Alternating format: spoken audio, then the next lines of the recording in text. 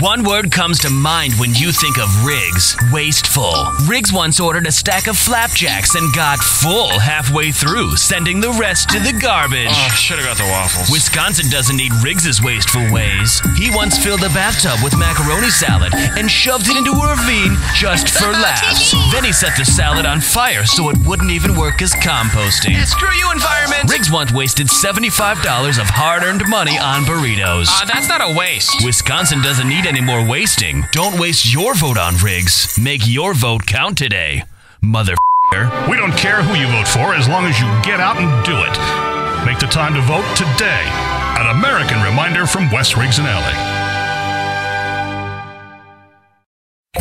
Won three cream puff contests. She hates all men. Hey, wait. She's eaten three personal pan pizzas in one sitting. She loves dogs and thinks marriage is stupid. She drinks Diet Coke like it's her mother job. She thinks anyone with a Samsung phone is an elitist. Wait a minute.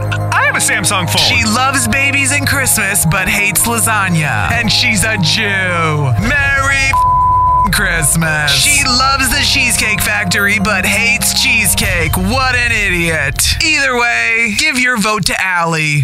Or don't. We don't care who you vote for as long as you get out and do it. Make the time to vote today.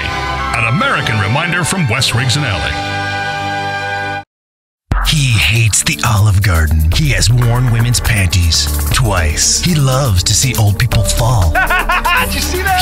Did you see that? He chapstick. He gives out Dutch ovens like it's his motherfucking job. That one's for you, girl. He wears his pants more than one time and doesn't wear underwear. He has three bottles of rail gin and he's going to give them to the homeless. Bless you, Wes McCain. Yeah, yeah. No problem. No problem. Today, don't waste your vote on Wes McCain. Make your vote count. We don't care who you vote for as long as you get out and do it.